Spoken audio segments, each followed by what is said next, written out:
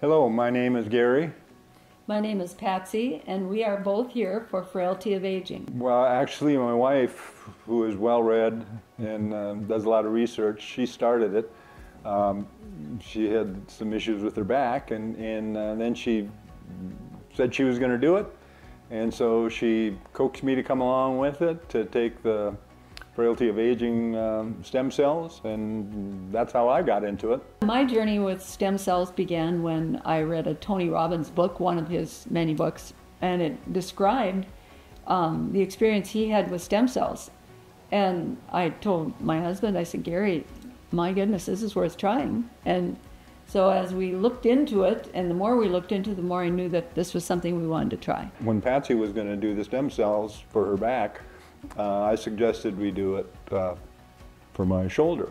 But the biggest result was is my blood pressure dropped down to uh, 105, and I have had high blood pressure for years, um, controlled through medication, but it never went low.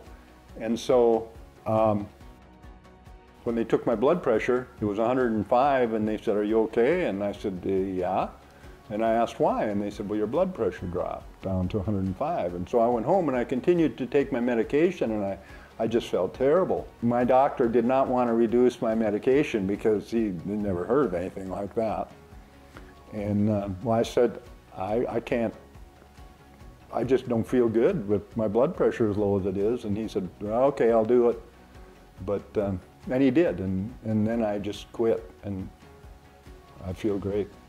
So, so in my case, uh, I was really looking for more graceful aging, and it is definitely doing that. I've noticed it in my back, in my knee. I, I've noticed the energy level. I haven't been sick for over two years, just well all the time and lots of energy.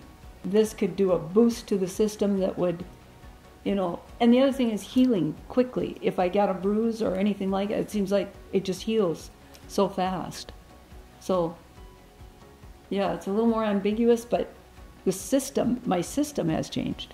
Yeah, my experience with the staff and doctors was tremendous. I mean, they were open to any questions. My favorite thing about Panama was driving around and seeing where the Panama Canal is and then seeing all of the, the things that were associated with it when it was being built. That was we had a very good driver. We'd been driving here for many, many years and he knew the history. So that was very interesting.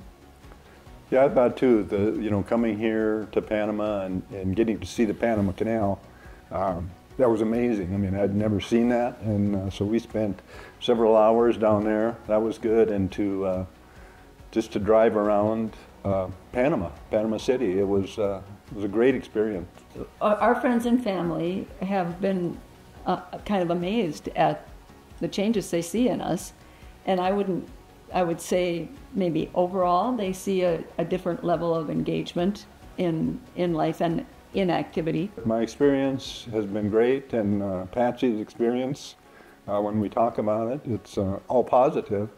Um, I, we have had no negative side effects, or uh, it's just been a great experience for us. Honestly, I, I trusted Panama.